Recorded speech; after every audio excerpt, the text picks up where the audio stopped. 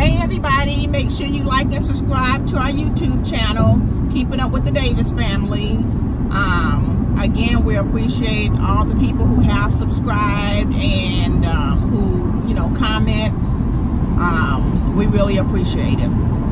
So today I'm going to, just so you all know, I'm just not getting off work, so I have a long journey home. And um, today I wanted to talk about marriages that are in trouble, um, which I'm sure a lot of people will be able to relate to.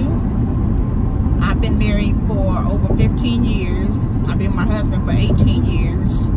And um, we do have kids. We have three girls. Um, two of them are grown and when I say grown, let me be clear. One is 19, one is 18, so yes, they're adults. Um, and my youngest is 16. And let me tell you, in the beginning of our marriage, uh, we were immature.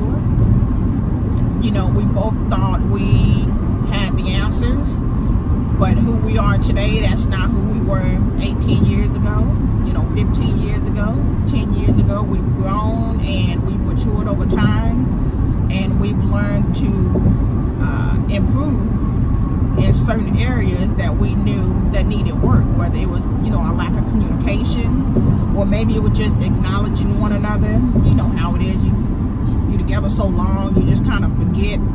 I don't even want to say forget. Sometimes, well, maybe that's the right word. You forget um, that he still wants to be complimented, or that. Um, he still likes for you to cook for him, whatever the case may be, you know. And again, I'm speaking from my own personal experiences. Um, over the years, we've had our hardships. And let me tell you, one of the things that I have always done, um, even to this day, is I have very few friends that I talk to um, that I'm able to confide in when I'm having issues within my marriage. And that doesn't mean that I don't talk to my husband, but when I'm feeling a certain type of way and maybe I don't feel like he's listening, and sometimes maybe it's one of those situations where I'm like, you know what, my friend will tell me the truth. She'll be honest with me. And I'll ask her and it's like, oh, okay.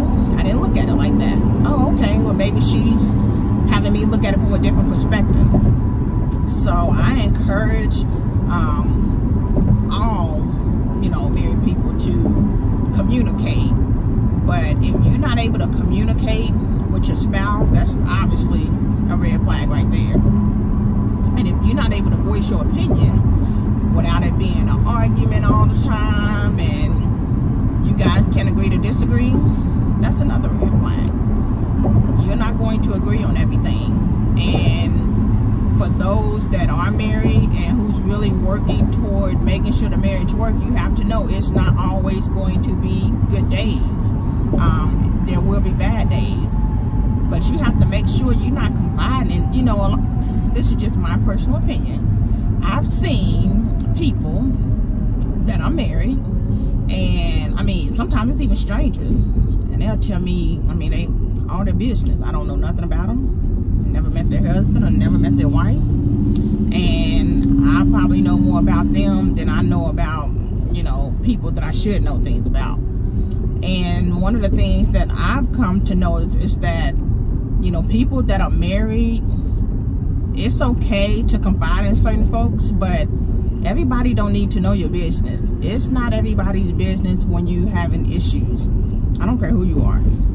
It's not anybody's business. And the truth be told, it's nobody's business. But if you are going to confide in somebody about what's going on in your marriage, you need to make sure that they really are your friend. Because some people, and I said this even about the family support video that I did, um, everybody just, they don't want to see you do well. They don't want to see you succeed, whether it's in marriage, um, whatever it could be. So you just got to keep in mind that when you're confiding in people about issues that you are having in your marriage, you know, is it really going to just stay between you and that person? Are they really going to give you the best advice?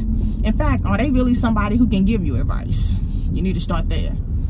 Um, oftentimes, people are just confiding in folks because they want to vent, but you want to know what? At the end of the day, what goes on in your household, that's your business. But if you are one of those, you know, people out there, couples or married, married families, whatever. If you are one of those families, uh, couples that you don't mind putting your business out there, whatever it is, you know, hey, that's fine. But just be honest. Um, you know, the reality is is that every day is not a great day. Every day is not a great day. And what I mean by that is it's days when my husband absolutely cannot stand me. He loves me, but he can't stand me. And vice versa. He gets on my nerves. Or maybe I'm just irritated that day. Or you know what? Maybe it's not even him, but I'm just taking it out on him. The reality is is that we all go through things when we are married and it's okay but you don't always have to pretend like everything is okay. You know it's people out there that would love to see your marriage fail but then you have people out there that really they really are rooting for you. So you just make sure that if you are having hardships in your marriage you need to be the one to decide if excuse me if that's what you want to do don't leave that decision up to your homegirls and your homeboys and they trying to tell you what you need to do in your marriage. Is that what you want to do? If that's what you want to do, great. You know what? Then you got to figure out a plan so everybody can be happy and move on. And better yet, just so everybody can just get out of that unhealthy relationship because everybody usually is not happy when, you know, they're going their separate ways. But that's really something that a lot of people need to start thinking about. When you ready to call it quits or you really don't know what you want to do, which to me, that's normal when you're having issues within the marriage. But, you know, look at your circle. Who are you confiding in? Who's giving you advice? Who's helping you through that hardship? Because you can't go through issues alone, which goes back to what I was just talking about yesterday. The support. That's why it's important to have support. It may not be from your family. Maybe you do have a best friend. You know, I have very few friends that I confide in and they confide in me and that's that. I'm honest. And sometimes we so honest with one another, it just it kind of pisses us off sometimes. Like, man, dang, you know what? I should have called you first before I went off. Or, dang, I should have listened to you or whatever the case may be. Um, so if you're married and you trying to figure things out, guess what? That's okay. You figure it out. Don't be letting your circle of friends or so-called friends or cousins or even your mom, don't be letting nobody figure out your life. That is your life. And whether it's a bad marriage or a good marriage, if it's a bad marriage, obviously you shouldn't be in it. But you want to know what? That's still a decision you have to make. Because until you're ready to get out of that marriage, it's not going to do you any good to even confide in anybody because you can't let somebody else tell you what you need to do. You don't let somebody else tell you what you should be doing with your husband or your wife. That's something you need to figure out. So if you are one of those people out there who's struggling, you trying to figure out what your next move is, you know what? Before you do that, make sure y'all talk about it. Y'all have a honest conversation. And I'm going to tell you now, it's going to start there. But if you can't even have an honest conversation about issues that you're having, I can let me say it again. They'll go that red flag. And that doesn't mean that just because it's a red flag, that means you got to go and get a divorce. No, that's not what I'm saying. But that's the red flag. It's, if you can't even have a conversation, then I don't even know how it's going to improve anyway. So just really be thinking about, you know, how you want to approach, you know, these conversations that you having with your spouse um, make sure that if you do have family or friends that support you, that support your marriage, and you're not sure that, you know, you actually trust that if you call and ask them for advice, they'll actually give it to you. And they mean it. And even if that means that you might call them a couple of days in a row, or whatever the case may be, they don't mind that. But I think it's important for people to understand that when you are married, I don't care who you are. It's no such thing as a perfect marriage. You're going to have issues.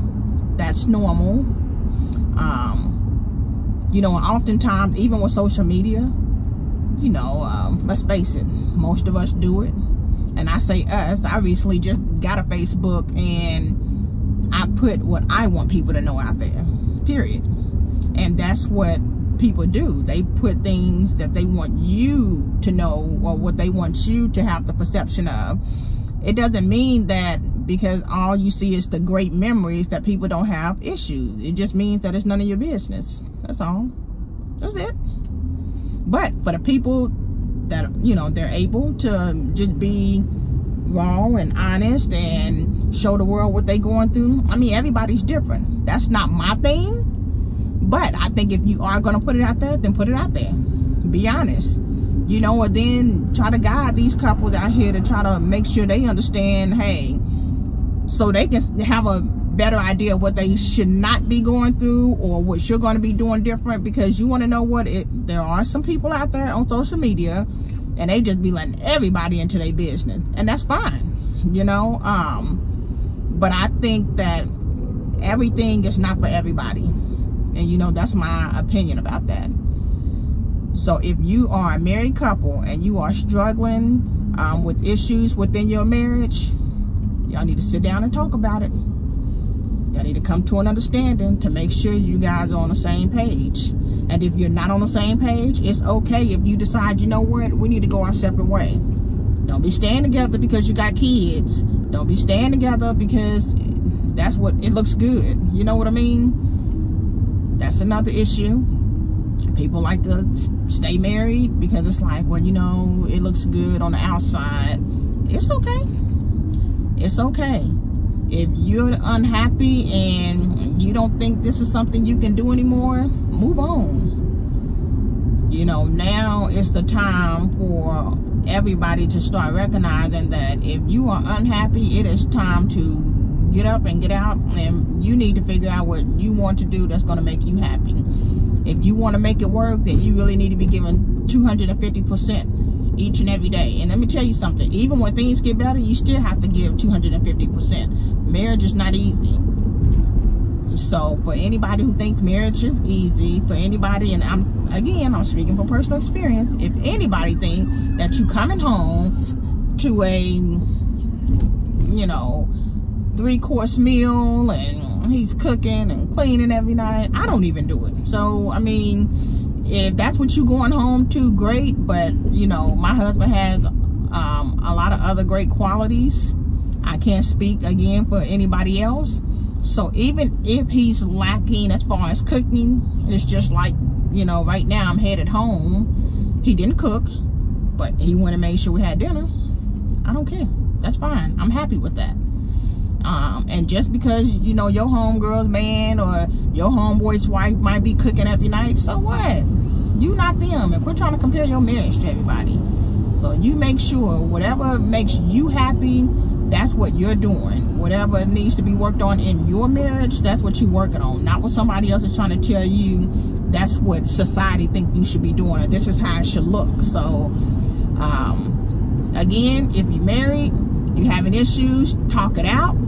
And if you're married, having issues, and you're ready to just leave, then you know what? You still need to talk it out, and you need to do it the right way. Alright, so tell me what you guys think. Leave a comment below, like and subscribe and I shall see you again.